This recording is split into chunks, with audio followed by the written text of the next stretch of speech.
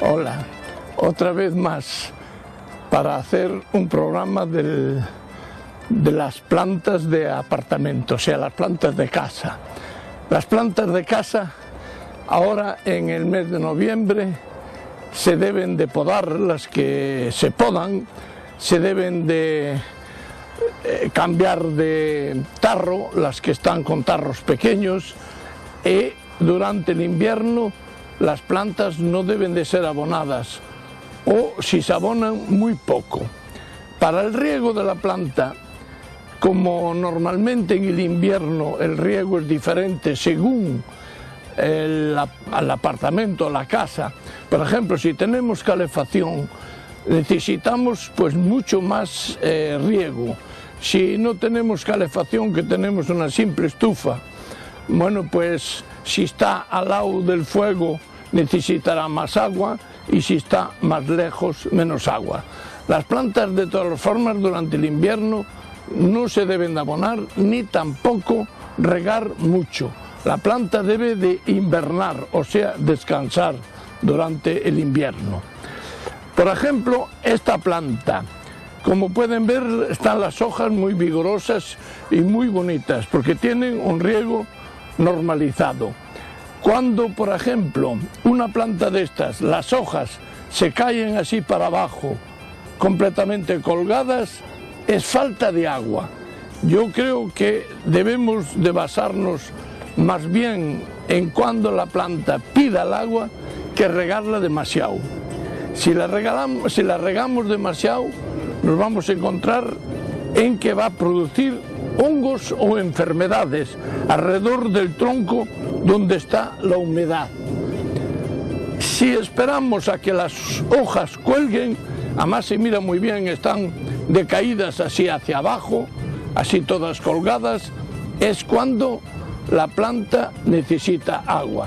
Le echamos una poca de agua, no hace falta acharcarlos de agua, sino una poca de agua durante todo el invierno. Si por ejemplo es eh, una casa con mucha calefacción, entonces pues hacemos una media de riego una vez cada 15 días.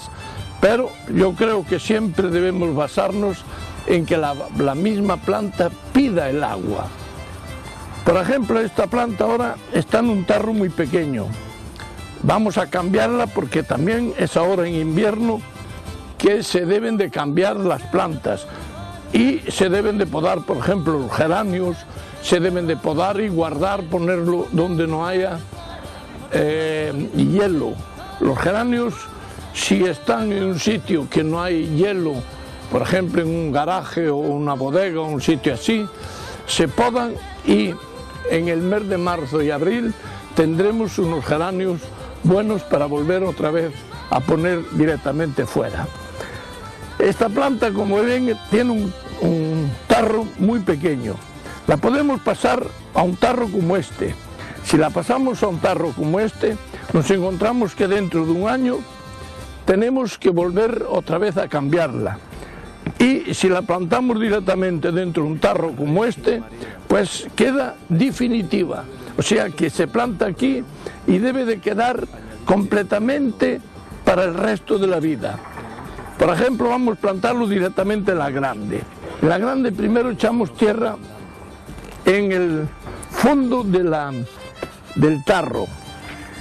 La planta debe de estar plantada, nunca se debe de enterrar una planta cuando se planta.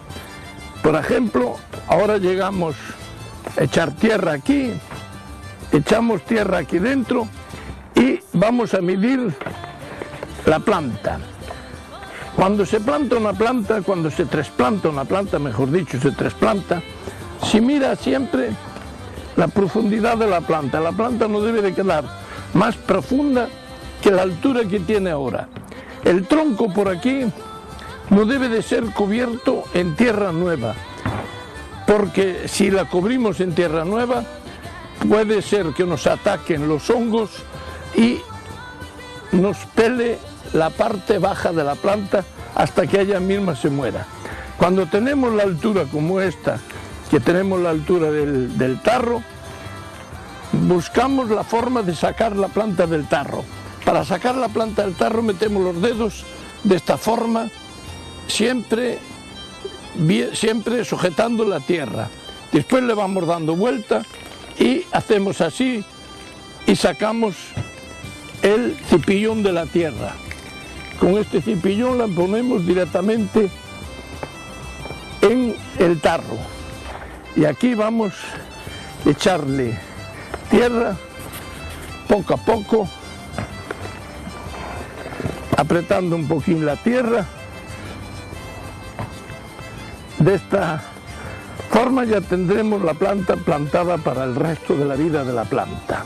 Esta planta ahora, durante el invierno, va a enraizar toda la parte baja del, del, tarro porque las raíces se bajan hacia abajo, que es donde más humedad tiene, y eh, terminan por salir por los agujeros del fondo del tarro.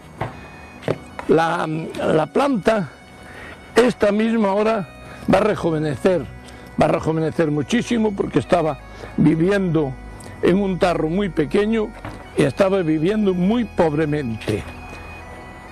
Las plantas, el abonado de las plantas en la primavera se debe de abonar dos veces por mes o una vez por mes según la, la planta. Y cuando llegue el invierno, como dije anteriormente, la planta no se debe de regar a consecuencia de que puede producirse hongos. La humedad produce hongos en los troncos de las plantas. Termina por morirse la planta o bien coge enfermedades en las raíces. Aquí la tenemos plantada de nuevo. Como pueden ver, la planta es un poco pequeña para el tarro, pero esta planta dentro de un año cubre completamente el tarro. Como dije anteriormente, las plantas de, casa, las plantas de... Siempre se debe de apartar de, por ejemplo, si hay radiadores, apartarlas un poco de los radiadores. Si se ponen estufas, pues separarlas un poco del alto calor de la estufa. La planta durante el invierno tiene que descansar. Tiene normalmente las que son para podar se deben de podar un poco, pero eh, el cuidado de las plantas hace que las plantas estén muy bonitas. Como pueden ver esta tiene un brillo muy grande, a pesar de que lo de las plantas en mi casa siempre fue eh, mi señora quien lo hizo, ahora lo tengo que hacer yo.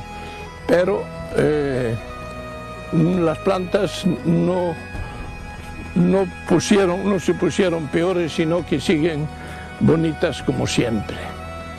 Si tienen algunas dudas, llamen por teléfono y le explicaré más, según la planta, eh, las formas que hay que hacerla para que invernen, para que pasen el invierno lo mejor posible. Nos despedimos de ustedes hasta la semana que viene. Muy buena semana para todos.